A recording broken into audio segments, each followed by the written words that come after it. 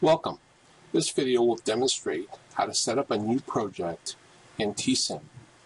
After you enter some uh, preliminary information, we generally begin by creating or defining a new grid. After we click New Grid, we can then enter the grid dimensions and the dimensions will depend on whether we do a full symmetry, half symmetry, or quarter symmetry. So we apply the thickness, the temperature, and we start off with a low number of elements initially to have the simulation run faster. So here we have our grid, and you can see the uh, elements. We save the grid with some name. And then we browse for it and add it to the project. Now the grid is added, we start to add the tools. The tools have been defined previously and have been positioned.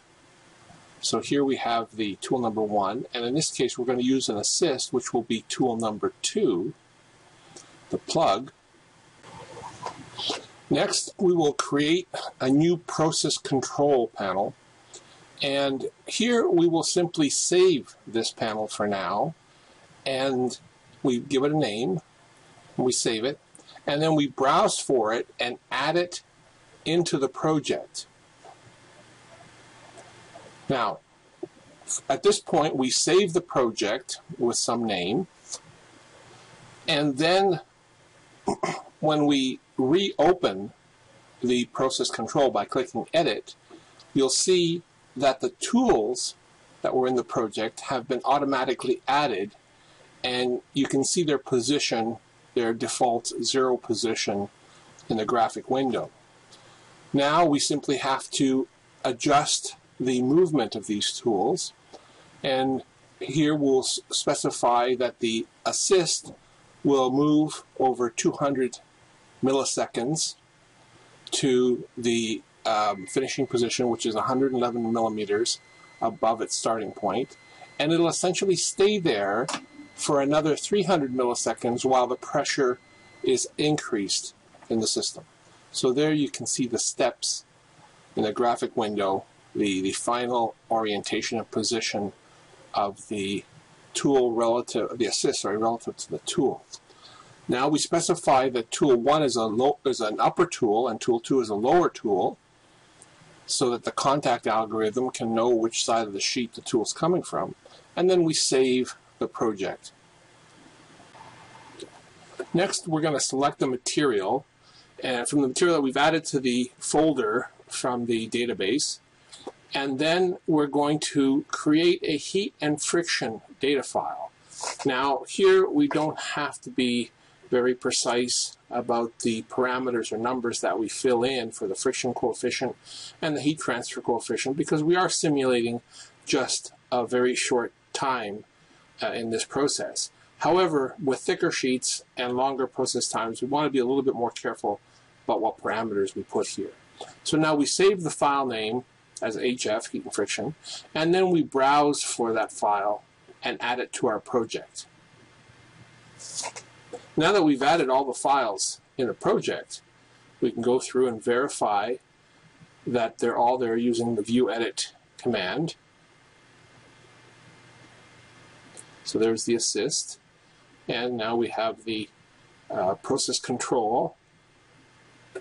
You can see that the time is only about a half second in total simulation time. There's the material file. There's our heat and friction. And now we can proceed with solving the project. Now as you can see, because we have relatively few elements, and we'll click the elements uh, first click the dots here to see the, the dots, the contact points, which are the nodes of the elements. And you can see the different color depending on what tool the dots are being in contact with. And you can see the vacuum come on now and the simulation is finished. And, and the simulation is relatively fast because we have relatively few elements. However, when you have few elements, you can see that the resolution is not very good. We're having triangles trying to fit around the corners at the bottom of the part. So we're going to refine using the automatic refinement that increases the number of elements four times, then when we close the project, the view window, it asks us to save the, the mesh as a new mesh, so we're going to rename it as refined. Then we're going to open the project again, and we're going to browse and replace the material.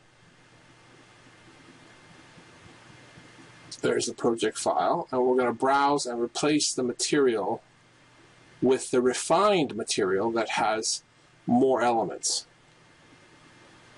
Now we're going to rerun the simulation. So here's the material file. You can see the refinement. And we're going to rerun the simulation, and you're going to see that the uh, calculation time now is going to be a little bit longer because the software has to deal with more elements. But our solution is going to be a little bit more precise. So once again, there are the contact nodes. So you can see the nodes that are making contact with the assist as well as the nodes that are making contact with the tool. Of course, if we ran quarter symmetry, or even half symmetry, but in this geometry we could run quarter symmetry and um, run either faster with fewer elements or for the same number of elements get an even higher resolution because we would be simulating only one quarter of the geometry.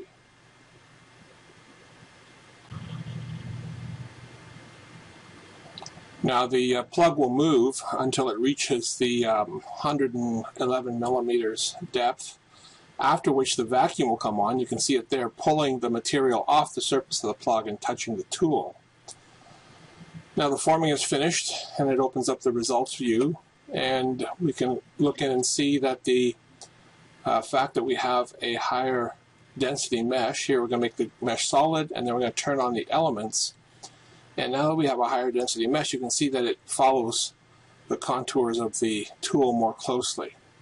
I'll put the transparency back in and um, we're going to take a look at another way of viewing the results and that is the cut window option where we can make a cut at any x, y, or z position. Here we're going to cut at x equals 0, and you'll notice that the graphics window and the graph are linked. The cursor shows you the position where you are on the graph relative to the part in either the x, y, or z direction and at whatever position you want to uh, you want to put.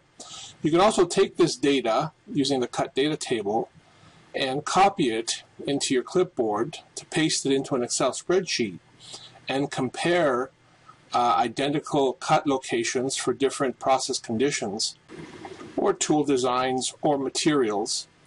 So if we go and click the preprocessor here, for example, we can go down to the process control file and we can edit this file by changing the final vacuum pressure. Here we'll double it to 100 We'll save the file again, and that'll overwrite the previous file. And now we simply close the previous results and rerun the simulation. So in this fashion, you can set up a series of simulations comparing different process conditions or perhaps even tool designs or assist designs. And um, the software also has a batch mode, which will allow you to run each project that you set up um, separately in a batch file, and then come back and compare all of the results to see which condition or tool file or assist design gives you the best po possibility of achieving the results you want. Here we've turned on the um, kind of bounding box to kind of show you the space that the sheet is occupying. And if you look closely down here, you'll see that once we hit the 200 millisecond limit, the vacuum comes on, pulling the uh, polymer off the assist and onto the, the tool.